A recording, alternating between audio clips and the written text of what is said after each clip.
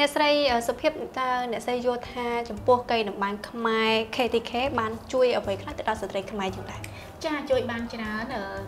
សម្រាប់បងប្អូនជាច្រើនដែលគាត់ស្គាល់ខ្ញុំគាត់ប្រកាសជាដឹងហើយខ្ញុំជាសហគ្រាសបែបសង្គមអឺធម្មតាអ្នករ៉ូស៊ីមួយចំនួនគាត់មិនបានគិតទេថាសំខាន់គាត់ទិញតែអីវ៉ាន់នឹងមកហើយ ឲ្យតែមកដល់ដៃគាត់គាត់លក់ឲ្យអតិជនហ្នឹងមែនទេចាព្រោះគាត់ជាឈ្មួញកដាតែខ្ញុំមិនមែនឈ្មួញកដាទេគឺខ្ញុំបានចងក្រងស្ត្រីទៅជាសមាគមហើយមកដល់បច្ចុប្បន្ននេះរហូតដល់យើងគេហៅថាចងក្រងរហូតដល់ក្រុមហ៊ុនសំឲ្យស្ត្រីតម្បាញរបស់យើងហ្នឹងចេះយកលុយដែលគាត់ត្បាញបានយកមកដាក់សន្សំនៅក្នុងក្រុមហើយគាត់ធ្វើកម្ចីទៅវិញរយៈពេល3ខែដើម្បី ដោះទាល់ពេលដែលគាត់មានបញ្ហាខ្វះខាតលុយកាក់ណាជាមួយនឹងការប្រាក់ទាបបំផុតនៅក្នុងក្រុមគាត់ហើយក្រៅពីហ្នឹងយើងមានការបង្ហាត់បង្រៀនប្រជុំជជែកគ្នាដោះស្រាយបញ្ហាច្រើនហើយមានកណាត់យកមកលក់ឲ្យភ្ញៀវទៀតអញ្ចឹងនៅពេលដែលអតិជនគាត់ទិញផលិតផលរបស់ខាងកៃតម្បាញខ្មែរ KTK ណាបានន័យថាគាត់ដូចជួយស្ត្រីទាំងអស់រាប់រយអ្នកនៅសហគមន៍អញ្ចឹងមួយវិញទៀតតកតងទៅនឹងកៃតម្បាញនេះផងដែរឃើញ ចំពោះកៃតម្បាញ KTK គឺត្បាញដោយដៃចាខណៈពេលដែលមានភាពជឿនលឿនហើយមានម៉ាស៊ីនមានអីប៉ុន្តែអ្វីបានជាត្បាញដោយដៃជ្រើសត្បាញដោយដៃខណៈដៃម៉ាស៊ីនគឺលឿនជាងដៃឆ្ងាយចាតាមពិតនេះជាសំណួរដែលមនុស្សសួរច្រើនហើយក៏មានមិត្តភ័ក្តិរបស់ខ្ញុំសួរសួរច្រើនដែរថាទៅធ្វើអីរបរអញ្ចឹងហ៎ គេថារបរកប៉ិចកប៉ុកទូចចាខ្ញុំថាតាមពិតវាអត់កប៉ិចកប៉ុកអីវាធំដែរតែសំខាន់យើងនឹងចេះធ្វើវារបៀបម៉េចតាមពិតអឺអ្វីដែលខ្ញុំសិក្សាពីវិស័យម៉ូដ វិស័យម៉ូដហើយវិស័យមុខជំនួយឲ្យផលិតផល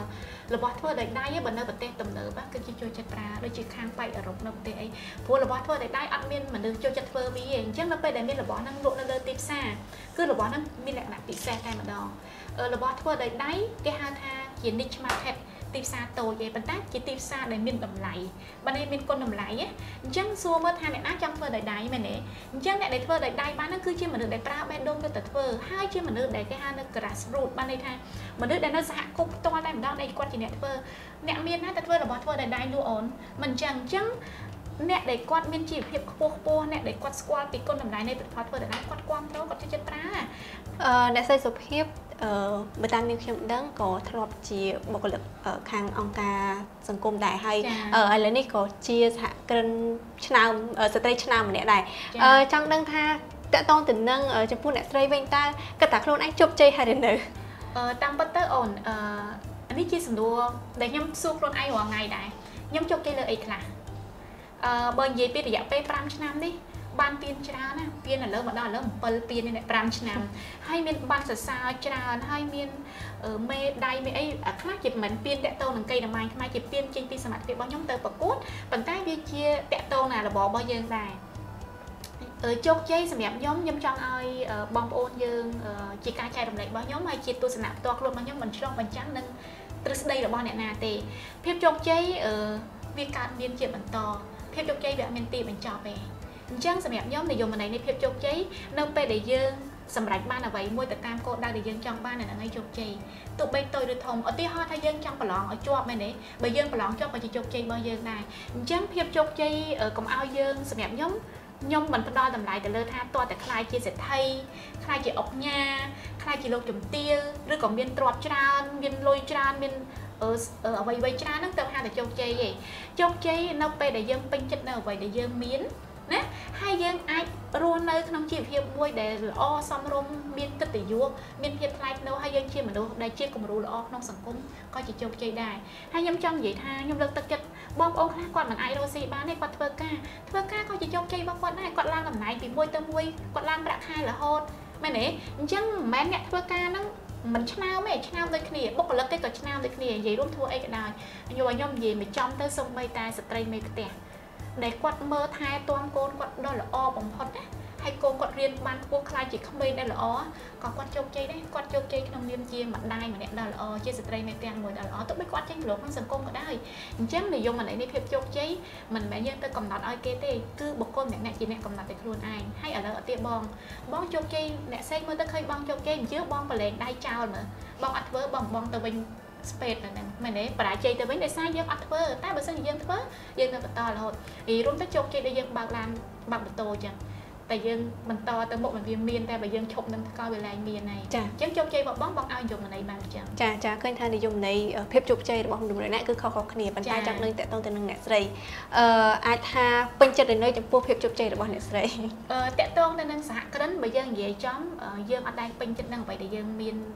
គុណភាពរបស់យើងឯងបើយើងផលិតផលិតផលបើយើងពេញចិត្តយើងអត់រីចម្រើនទេពីព្រោះយើងអត់នឹងអត់កែច្នៃវាទេមនុស្សដូចគ្នាបើសិនជាសួរថាតើខ្ញុំពេញចិត្តនៅខ្ញុំពេញចិត្តនៅអ្វីដែលខ្ញុំបានប៉ុន្តែខ្ញុំបន្តវាឲ្យរីចម្រើនជាងនឹងទៀតព្រោះអី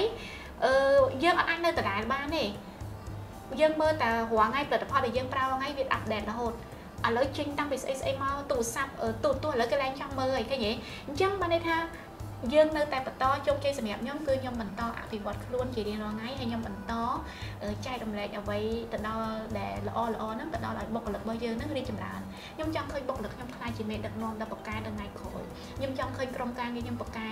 ដោយខ្ញុំឬក៏លើសខ្ញុំទៅថ្ងៃក្រោយទៀតកូនរបស់ខ្ញុំហើយមិត្តភ័ក្តិជាពិសេសគឺយើងបន្តចែករំលែកដល់មនុស្សជំនាន់ក្រោយយើងយើងស្លាប់ទៅវិញយើងអត់យកអីទៅវិញទេ យើងទៅតែខ្លួនទៅទេវិញដូចយើងកើតមកអញ្ចឹងអញ្ចឹង legacy បានន័យថាអ្វីដែលខ្ញុំចង់បន្សល់ទុកឲ្យគេចាំខ្ញុំគឺជាមនុស្សម្នាក់ដែលបានធ្វើប្រយោជន៍ច្រើនដល់សង្គមអាហ្នឹងឯងជោគជ័យដែលខ្ញុំចង់ឃើញនៅពេលដែលខ្ញុំចាស់ទៅចង់និយាយថាយើងជាមនុស្សម្នាក់ដែលបានជួយសង្គមច្រើនតាមរយៈអ្វីក៏ដោយឲ្យតែយើងធ្វើបាន ចាជាសំណួរចុងក្រោយនេះខ្ញុំចង់ឲ្យអ្នកស្រីសុភាពមាននៃការជំរុញឬក៏ចែករំលែកអ្វីខ្លះទៅដល់ស្ត្រីតកតងទៅនឹងការប្រកបអាជីវកម្មនេះផងដែរចាសូមអរគុណច្រើនមកដល់ពេលនេះខ្ញុំសូមធ្វើការចែករំលែកទៅដល់បងប្អូនស្ត្រីរបស់យើងហើយទាំងយុវជនផងដែរនិយាយរួមទៅណាព្រោះអីខ្ញុំក៏ជឿយុវជនខ្ញុំចង់ឃើញយុវជនរីកចម្រើនណាអឺតាមពិតបើសិនជាបងប្អូនស្ត្រីយើងចង់ធ្វើអាជីវកម្មក៏បានចង់ធ្វើការក៏បាន ចង់អឺនិយាយរួមទៅចង់ធ្វើអ្វីដែលខ្លួនឯងឆ្លាញ់ហ្នឹងចង់អីក៏បានដែរប៉ុន្តែអ្វីដែលយើងធ្វើគឺសូមឲ្យយើងធ្វើឲ្យបានល្អបំផុតធ្វើឲ្យអស់ពីសមត្ថភាពហើយនិងលទ្ធភាពរបស់យើងអឺពេលហ្នឹងយើងនឹងមានអារម្មណ៍មួយថាអូខ្ញុំបានធ្វើវាហើយប៉ុន្តែលទ្ធផលបើវាអត់បានដូចអ្វីដែលយើងចង់បានយើងត្រូវចែកកែច្នៃទៅបន្ថែមទៀតពីព្រោះអីខ្ញុំសម្គាល់ឃើញ អ្វីដែលខ្ញុំសម្គាល់ឃើញខ្ញុំឃើញថាពេលដែលយើងធ្វើភាគច្រើនយើងធ្វើអត់សូវពេញដៃពេញជើងទេច្រើនថាចិត្តចិត្តដល់ហើយឈប់ចិត្តចិត្តដល់ហើយឈប់អញ្ចឹងជោគជ័យរបស់មនុស្សវាមិនមែនត្រូវការរយៈពេលខ្លីយើងធ្វើទៅបានទេវាត្រូវការពេលវេលាហើយនឹងការអត់ធ្មត់ព្យាយាមអញ្ចឹងបើសិនជាយើងសម្រេចចិត្តធ្វើសហគ្រិនសូមឲ្យយើងធ្វើឲ្យពេញលេញហើយឲ្យកសាងសមត្ថភាពខ្លួនយើងហ្នឹងឲ្យវាខ្លាំងជាមុនសិន មិនចាំបាច់បងប្អូនតើមានរៀនចប់បរិញ្ញាបត្រអនុបណ្ឌិតឬក៏អីទេសហគ្រិនពេលខ្លះយើងឲ្យតែចេះសេមែនទេចេះសេអក្សរឲ្យចិត្តតែចេះមើលលេខមើលអីក៏បានដែរប៉ុន្តែអ្វីដែលសំខាន់គឺបងប្អូនត្រូវរៀនរៀនបន្ថែមជាពិសេសសភៅមានច្រើនអានសភៅរៀនក្នុង YouTube ហើយទៅរៀនវគ្គណាដែលយើងគិតថាជួយយើងបានបន្ថែមហើយយើងរក mentor បងប្អូនរកគ្រូគ្រូគេហៅថាអ្នកដែលជួយតម្រង់ទិសយើងបើអាចរកបានល្អមែនតើ ឲ្យគាត់ជួយតម្រង់ទិសយើងបន្ថែមទៀតដើម្បីឲ្យយើងនឹងដើរទៅ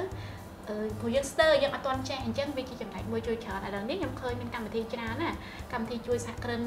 ដូចជាសមាគមសហគ្រិនសេរីកម្ពុជា CWEA C Investment អឺសមាគមផ្សេងផ្សេងណាអីមាន VX របស់ខាង USAID ដែលជួយទៅលើក្មេងស្រីអាយុពី15ដល់35ឆ្នាំអីនោះអញ្ចឹងគឺមានកម្មវិធីអញ្ចឹងច្រើនច្រើនណា Impact Hub អីហ្នឹងបងប្អូនទៅស្វែងរកបណ្ដាញទាំងអស់ហ្នឹងចាហើយជាពិសេសអ្នកដែលគាត់មានបទពិសោធន៍គាត់ជួយចិត្តចែករំលែកក៏យើងអាចសួរគាត់បានដែរអញ្ចឹងកុំខ្លាចស្ត្រីយើងកុំខ្លាចឲ្យចូលរួមធ្វើទាំងអស់គ្នាទៅបើយើងមិនសាក់យើងមិនដឹងទេហើយបើយើងមិនធ្វើយើងក៏អត់ចេះដែរនិយាយរួមទៅយើងត្រូវរៀនផងធ្វើផងរៀនផងធ្វើផងដល់ពេលយើងធ្វើទៅយើងនឹងបានបទពិសោធន៍ច្រើនហើយយើងចេះច្រើនហើយ